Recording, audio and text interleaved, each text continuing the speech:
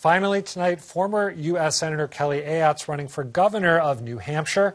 But when she recently kicked off her campaign on Fox News, she turned her focus to this state. We are one election away from becoming Massachusetts and New Hampshire, and I'm not going to let that happen. Here in New Hampshire, we take our, our state motto very seriously live free or die. And there's just a very different perspective with our neighbors. Ayotte isn't the first Republican to use Massachusetts as a foil, but in a wide open race in what's still very much a swing state, will the strategy work? I'm joined now by Lylah Alphonse, editor of Boston Globe, New Hampshire, and by the former chair of the New Hampshire Republican Party and a co founder of the Lincoln Project, Jennifer Horn.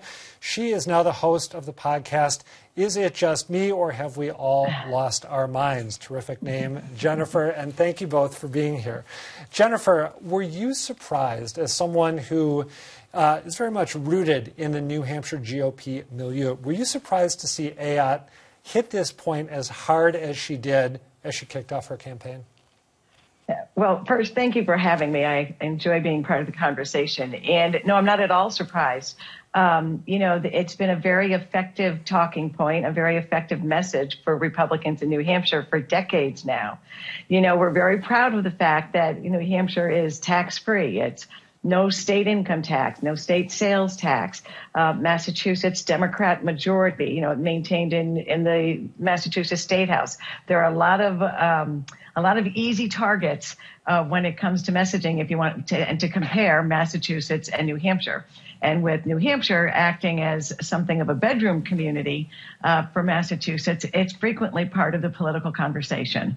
Lylah, what is your take? From your vantage point, is this smart politics? Um, I think it's probably far easier to focus on Massachusetts than to focus on her opponents in the primary. She's one of several um, conservative contenders who have either declared or who are expected to declare. Um, I wouldn't call New Hampshire completely tax free. It has some of the highest property taxes in the country, which corresponds to some of the lowest home ownership rates. Um, and if you are one of the many thousands of people who live in New Hampshire but work in Massachusetts, you're still paying income tax to Massachusetts. So, regardless of who's in the governor's seat up in New Hampshire, so I'm not really surprised. I'm interested in seeing, though, how it shakes out. We're 58 weeks away from the primary. It's really early yet. When you say you're interested in seeing mm-hmm. how it shakes out, mm-hmm. do you mean you're interested in seeing if she just hews to this particular attack line again and again and again and if it works for her? I am, and I'm also interested in seeing who her eventual opponents are and whether they start attacking Massachusetts, each other, or looking to present solutions for problems that are happening in New Hampshire. Jennifer, Lylah mentioned mentioned uh, Ayotte's opponents on the Republican side. Can you offer just a quick uh, preview or synopsis of the race and who she's running against to become the Republican nominee? Well, I, you know, first of all, I think that you're going to hear a lot of um, problem solving from Senator Ayotte and likely from the other candidates as well. Uh, nobody's going to run this race entirely, you know, against Massachusetts, but it is a very effective um, messaging point for candidates in the Republican Party in New Hampshire. Um, and you know, if um, Frank Edelblut, the former, um, uh, the for, or actually he's not former, I guess, um, uh, director of the Department of Education in New Hampshire has a very strong conservative base there. You know, the the most conservative Republicans are very um, uh, very supportive of Frank and, and his previous run for governor several years ago when he ran against Chris Sununu. Um, and then I think that um, uh, Chuck Morse, uh, if I, uh, isn't going to be in this race. Former Chuck Senate is leader, the one, right? Yeah. That's right. Former, he's a former Senate leader, and Chuck is going to be a formidable opponent for Senator Ayotte. He has, um, you know, been the guy who has been responsible for building some really strong budgets. He gets credit for balancing the budget in New Hampshire in, the, uh, in his role as the uh, in the Senate. And again, he's somebody who has a lot of support um, in the Republican base uh, because of the role that he's played. And part of the genius, maybe, of what Ayotte is doing, I don't know if genius is too strong a word, is by, by floating this attack line, mm-hmm. not floating it, leading with it, putting it out there on Fox, getting Massachusetts politicians to push back, getting our friend John Keller mm-hmm. from CBS Boston to push back, getting in a spat with him on social media. Uh, Kelly Ayotte's not talking about her Republican opponents. She's right, and I think I think that that's exactly why it's it's been so successful for her to lead with this. Um, she hasn't really floated anything that separates her from these conservative Republicans who she'll be running against and, in the primary. And one thing, tell me if I'm right here too, one thing she is not doing now is answering questions about former President Trump and correct. whether she has been sufficiently supportive of him. Is that is that correct?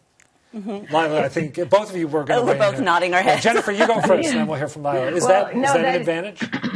That is a correct. That is correct. And the less time that any of the candidates can spend talking about Donald Trump, the better off for them in this race. Um, you know, uh, Donald Trump uh, is um, much beloved, I would say, by much of the Republicans and by many of the Republicans in New Hampshire. But um, being a pro-Trump candidate is not a good place to be in a general election in New Hampshire at all. Um, I think Donald Trump is going to be a stumbling block, frankly, for all three of these candidates. Um, it's very difficult to um, express any sort of support for him and think you're going to be able to build a strong general election campaign. Lylah, what were you going to say? Um, I think that's right. And I think Ayotte um, has some firsthand experience there. She endorsed Trump and um, then she pulled back her endorsement after the Access Hollywood tape where he gloated about groping women came out. And then during a debate, I believe she said he was a good role model, right. immediately walked that back. So she had some experience with the contortions that are needed um, in order to kind of strike that balance between showing enough support to get support from his base and showing enough distance to perhaps get supports from the moderates and and uh, libertarians who she's going to need to get through this. And now she's elided it. I want to roll just briefly some mm-hmm. footage. We went up to Milford, which is a fairly mm-hmm. evenly split town politically, uh, to get a sense of whether this is going to resonate with small subsection of New Hampshire voters. Here's some of what people said to us when we asked if they were worried that New Hampshire was about mm-hmm. to become Massachusetts. New Hampshire used to be one way, and now you're just starting to see it over the border towns are just creeping in. Um, going towards the Massachusetts way. There's a lot of people up here that their gun laws are what they want. They, that's why they came here. And the Massachusetts laws are totally, you know, different and can't have this, can't have that. The crime rate in Manchester hovers around being the same as Lawrence, Lowell. You didn't see that, you know, 20, 30 years ago. Really quickly before we go, I want to bring up the issue of crime. Uh, Ayotte said that there is fentanyl being trafficked into New Hampshire from cities like Lawrence and Lowell.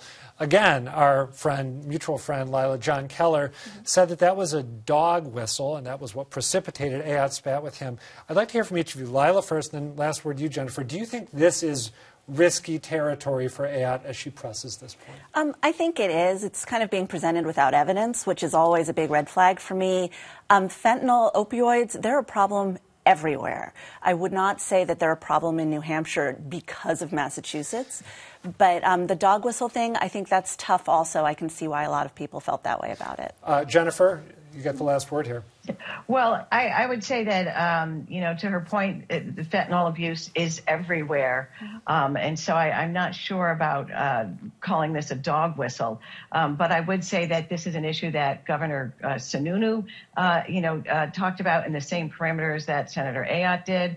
Um, and it's an issue that the state has been fighting for a very long time just like Massachusetts has. Um, and, and I hope that's one of those areas where there's going to be a lot of conversation about solutions and maybe less conversation about who started it. Yeah, that seems yeah. like it'd be good. I should note in that Twitter back and forth that I mentioned a moment ago, Ayotte provided a bunch of examples of right. stories of people from Massachusetts being arrested as they sought to distribute fentanyl mm-hmm. in New Hampshire.